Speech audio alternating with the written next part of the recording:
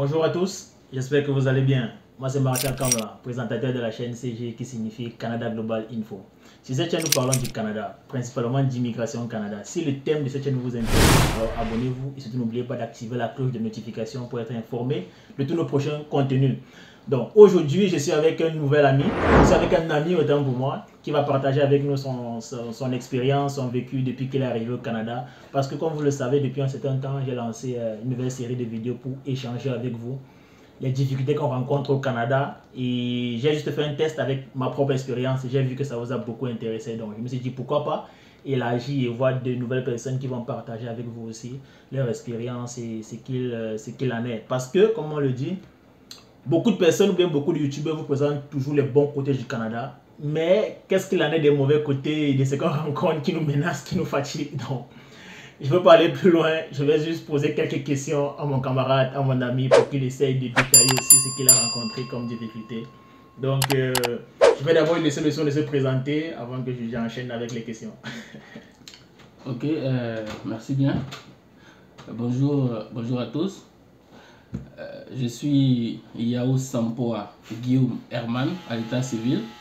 Comme vous pouvez le constater, j'ai déjà le maillot de la Côte d'Ivoire, je suis ivoirien. Je viens du centre de la Côte d'Ivoire, plus précisément de la ville de Boaké. Euh, l'ethnie, c'est. On va dire que je suis baoulé. Voilà. Mais juste avant de venir au Canada, j'étais à Abidjan. C'est la plus grande ville du pays. Donc. Euh... Dans Bicopos ivoirien. Ah oui, oui, c'est ça. Ils sont nombreux, ils sont nombreux. C'est ça, c'est ça, ok. ben, c'est tout. Donc voilà, il a déjà brûlé la première question pour aller, euh, pour aller rapidement. Donc on va automatiquement passer à la deuxième question qui est le fait de savoir, ça fait combien de temps que tu es, tu es au Canada?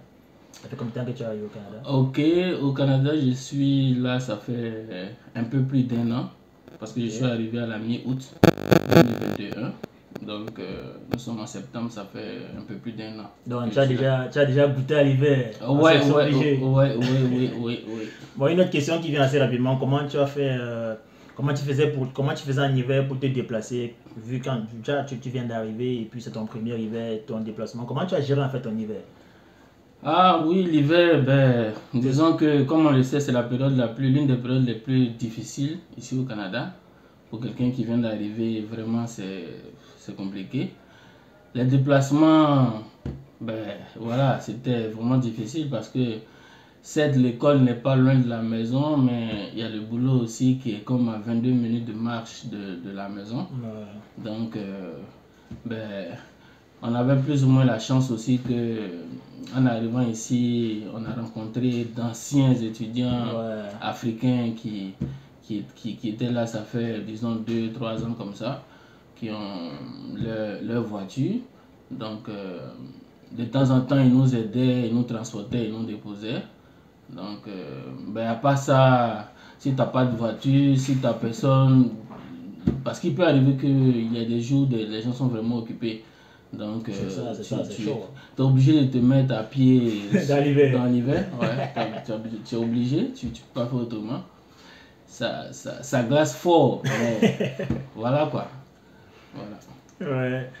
bref, pour le travail, pour l'école, c'est pas, pas évident. C'est vraiment, on est chanceux si on rencontre vraiment quelqu'un. Moi, je, je suis passé par la même chose. Donc, si tu rencontres vraiment quelqu'un qui est sur le même chemin que toi, ou bien un camarade ou bien un voisin qui, est, qui a un temps libre, qui peut te transporter, bah, tu es chanceux. Mais s'il n'y a personne, tu mets les habits qu'il faut et puis tu marches. Ouais, c'est ça, c'est ça.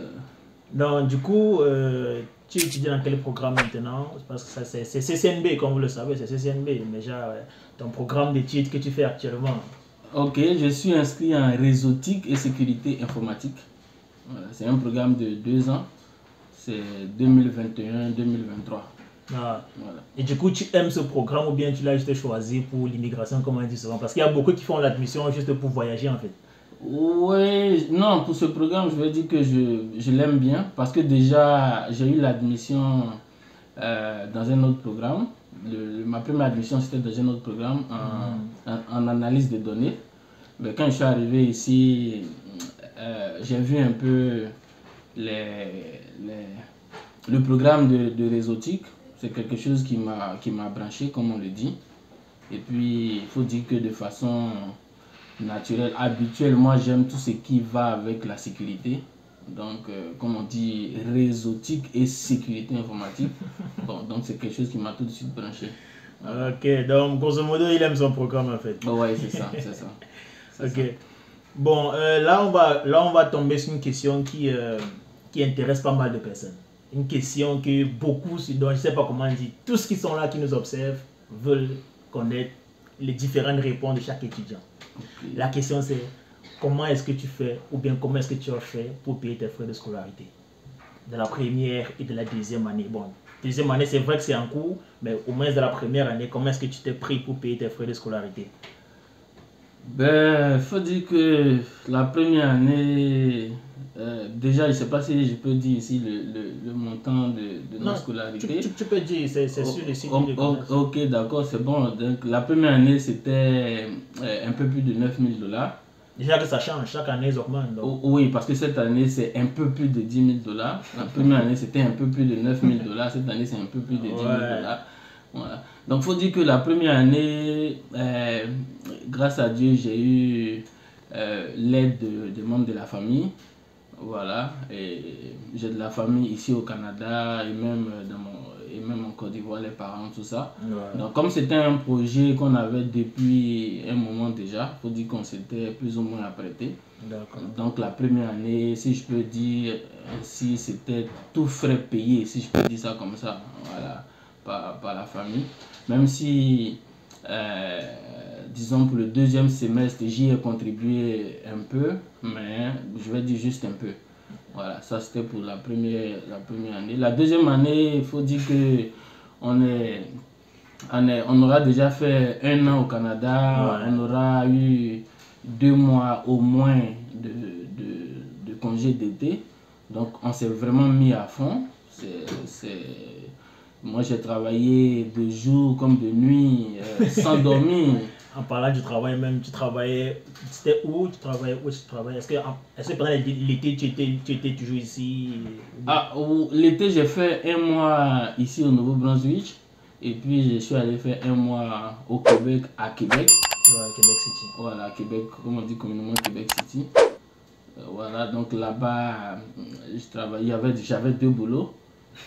un, un le matin où je faisais euh, au minimum 8 heures, sinon souvent 10 heures ou 12 heures de temps. Wow.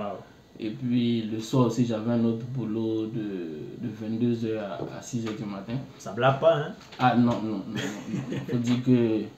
Et puis la distance entre la maison et l'école était telle que c'était environ 1 heure, 1 heure 15, 1 heure 30 de, de, de, de chemin à faire en bus. Hmm. Donc ça fait que dor- dormir même c'était quelque chose de vraiment rare.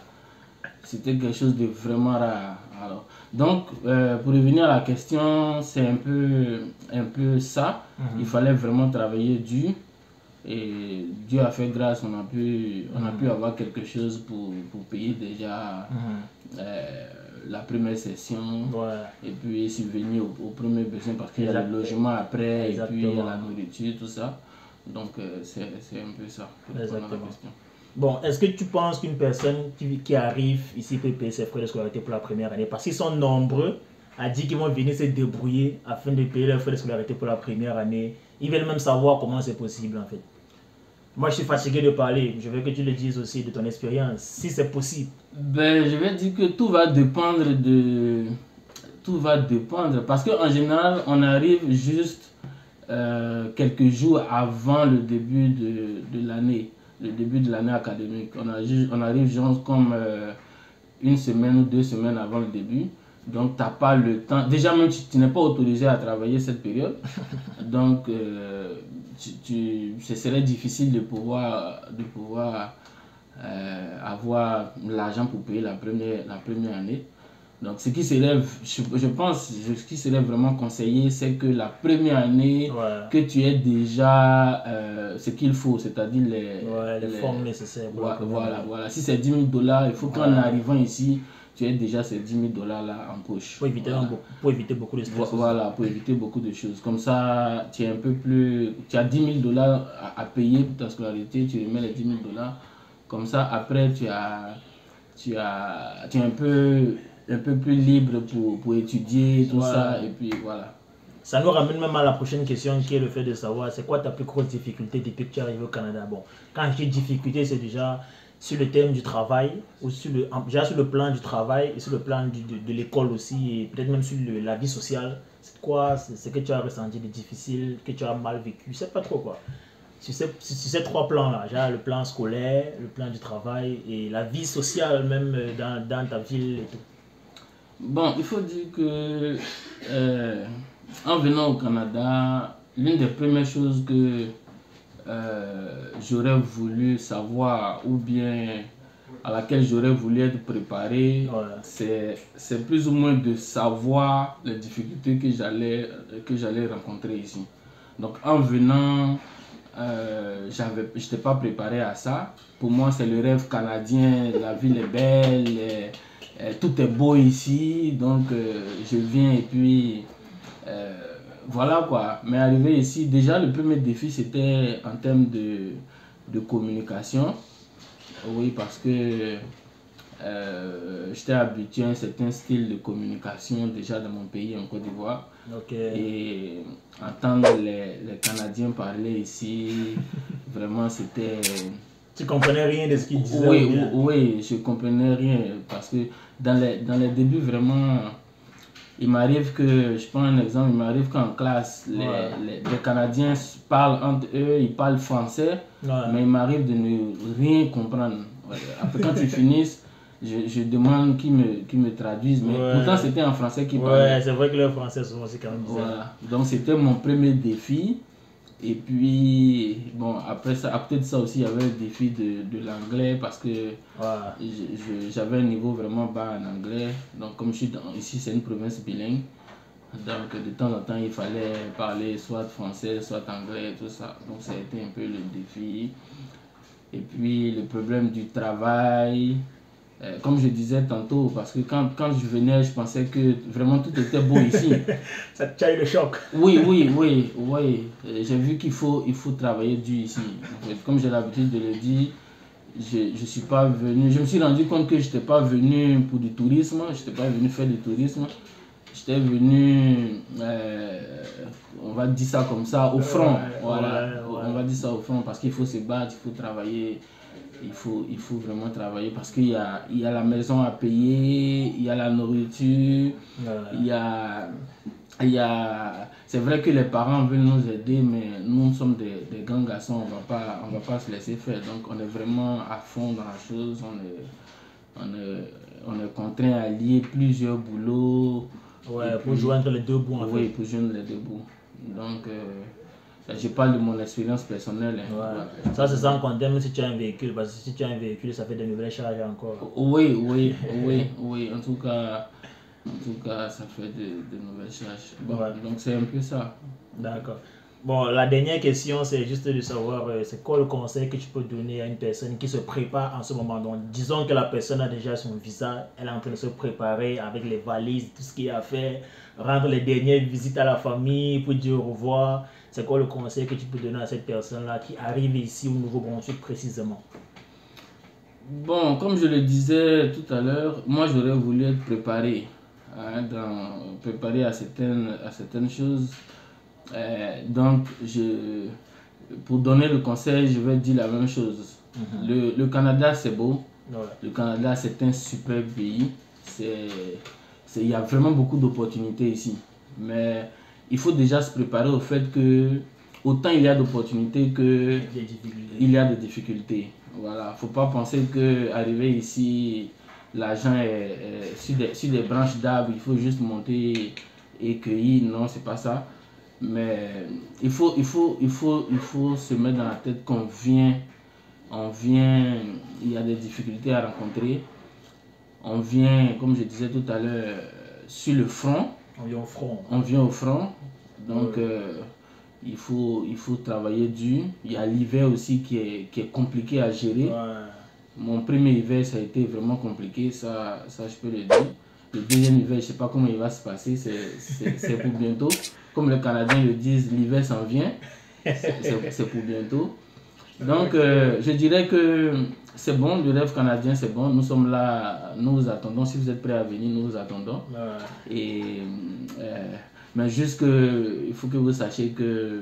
C'est pas, aussi, c'est, pas aussi facile qu'on le pense. Ou bien que, euh, comme vous voyez sur les réseaux sociaux et tout, c'est pas, c'est pas aussi évident en fait. C'est pas aussi évident. Mais lorsque tu as de la volonté, tu as de la volonté, il y a Dieu dans ce que tu fais, Ouais. allier tout ça, ça permet de pouvoir plus ou moins joindre les deux bouts. Voilà. Et c'est ça.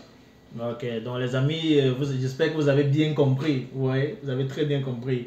Donc, grosso modo, le Canada est bien. On va pas vous le dire le contraire. Le Canada est bien.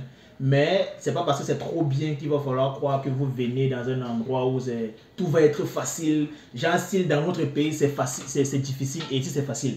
Tu vois, c'est un peu ça que les gens pensent oui. peut-être en Côte d'Ivoire ou au Cameroun, la vie est dure. Ici, ça va, quand ils vont arriver, ils vont être le- les plus à l'aise du monde. Non, non, non, non. Ça va pas se passer comme ça. Et c'est ça qui pense souvent que les gens ont un choc. Donc, mets-toi déjà en tête que si dans ton pays c'est dû à 10%, ici ça va être dû à 20%, au moins pendant ta période d'étudiant. Disons qu'après ta période d'études, maintenant, tu pourras essayer de vivre le style de vie que tu voulais, que tu voulais vivre. Parce que peut-être là, tu auras un bon job, tu, déjà peut-être qui te payera bien, tu travailleras à temps plein, tu pourras avoir peut-être le véhicule qui te plaît. Donc, du coup, la période d'études ne sera pas évidente pour toi à, à gérer. Et c'est pourquoi nous sommes en train de vouloir justement partager avec toi ce que nous on vit déjà en tant qu'étudiant. Parce que tu vas plus ou moins passer par au moins 60% de ce que nous on traverse. Mais là, ça, c'est ta vie personnelle. Au moins 60% de ce qu'on traverse, tu vas vivre cela. Et c'est ça le but en fait. Donc, on espère que tu auras, euh, que tu auras pris note.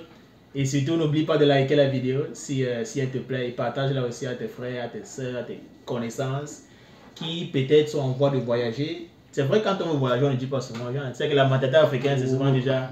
Quand le gars a son visa, tu entends seulement dans les rumeurs seulement qu'il est parti. Donc, partagez les vidéos, ça vous plaît. Et Herman, merci d'avoir partagé avec nous ton expérience et j'espère que ça aura plu vraiment aux abonnés. Ben, merci bien, je suis tout honoré. Et puis je fais, je fais un but comme à, à la communauté ivoirienne, Ouais. euh, à toute la famille et autres. Ça va bien, ouais, ça se passe bien. Donc, les amis, merci de nous avoir écoutés jusqu'à la fin. On se dit rendez-vous pour une prochaine vidéo. Bye. Bye.